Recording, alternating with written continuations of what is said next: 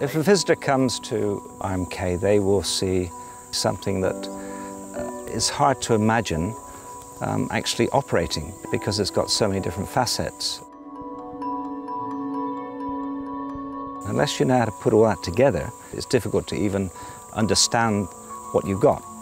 But if you have that experience, you can look at something and it might be overgrown, it might be rusty. If you understand what's underneath it, then you can make a judgment. So we don't see something as a pile of rust or a, a, a pile of rocks. We see them as opportunities, real opportunities.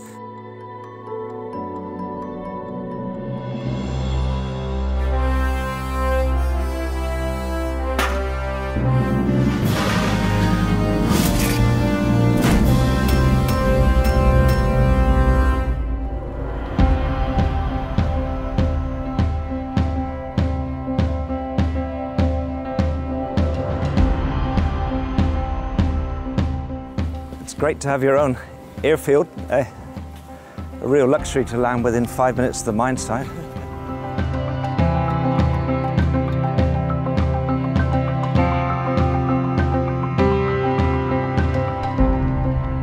For me, it's a great project because it really fits in with our business plan. It allows us to have a fast development phase. We can get this one up and running very quickly the work's been done, it's been done beautifully. The facilities are great, the infrastructure's there. It's a real opportunity for us.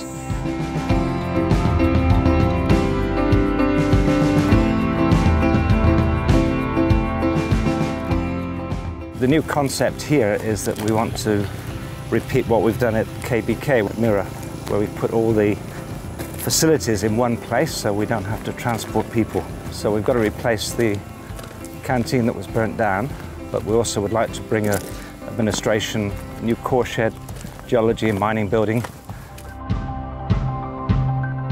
This is the clinic. It's operated by um, SOS, at least it was, and we'll probably get SOS back in again.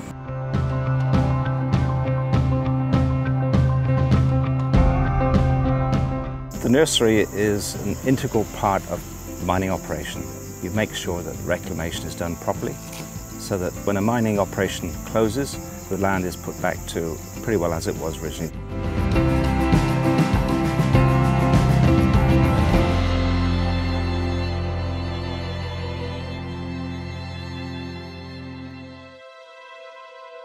Behind me is the IMK processing plant, designed in mid-90s by BHP Engineering. This plant has been here for 20 years now. It's a very solid plant, but there is new technology which has been available in more recent years, which we think we can incorporate to improve the process and give better efficiency. It's a good crusher. But it's good mill, very good mill, top class. But there's so much we can improve, you know, look at that monstrosity there. You know, even the operators take one look at it and shake their head. And that's what happens when you, you allow people that are not involved in design to do something. And we're just going to cut the whole thing out. We'll just take it all out and start again.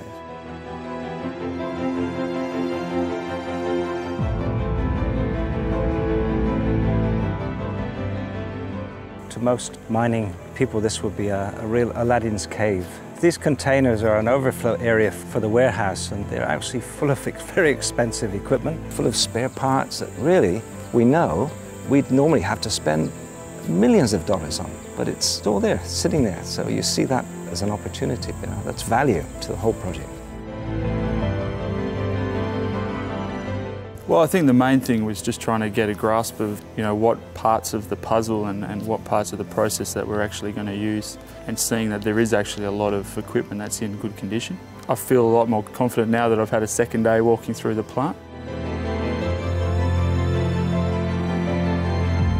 Because I'm always very optimistic about what I'm doing, I look at the positive side, so it's just really how to get the best out of it. And we've got a good basis here, it's good, it's a good start, so it's very, very positive.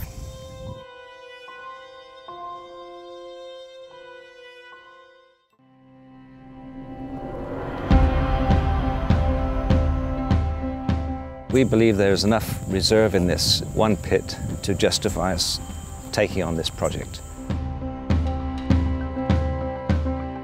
This is Serujan Pit. And you can see it's been gradually filling up with water. It's probably at the overflow level now, so as deep as it will get.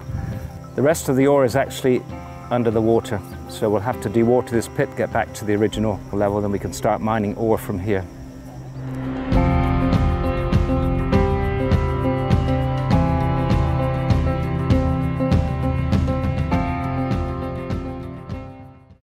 We have a lot of illegal miners in the IMK concession. They've increased over the last couple of years because after the mine shut down, the area became depressed and it was one of the only ways that people could actually make money. This is the north end of the pit and you can just see in the distance the illegal miners. Beyond the illegal miners is the so-called sacred hill that we're not allowed to mine too close to. Where the illegal miners are, that's some quite good ore we'd like to be mining. Because the ore is, uh, is pretty heavy for them to bring out from here, there, it looks as though they're using some sort of raft, take the ore down to the other end of the pit where the road is lower and they can take it out from there.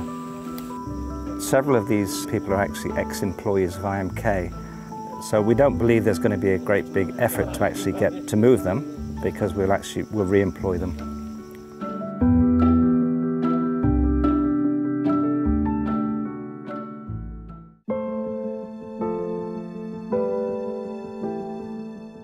The original project uh, started by Aurora incorporated a tailings dam which was set in a valley and they had to build a very substantial wall to hold back the tailings. And over the years this wall has been built up to 30, 40 metres high now. There's up to 8 million tonnes worth of tailings.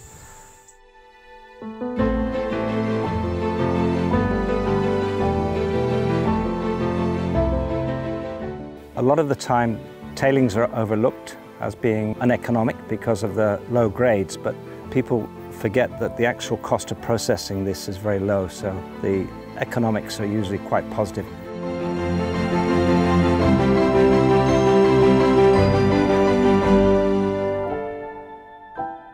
The tailings material is quite clean, there's got no contaminants in there.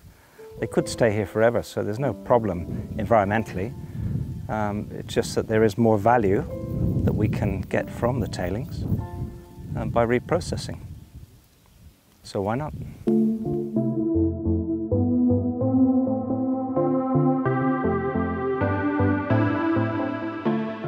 The real achievement is to put it all together. These gold mining projects are very complicated and they've got so many different facets to them.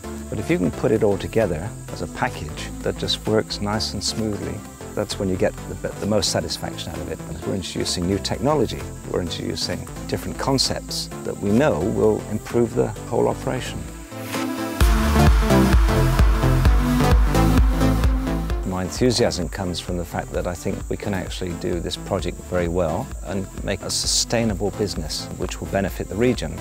This is a, a, very good opportunity for us. From a timing point of view, from a development of our business, it's a, an excellent opportunity which we shouldn't miss.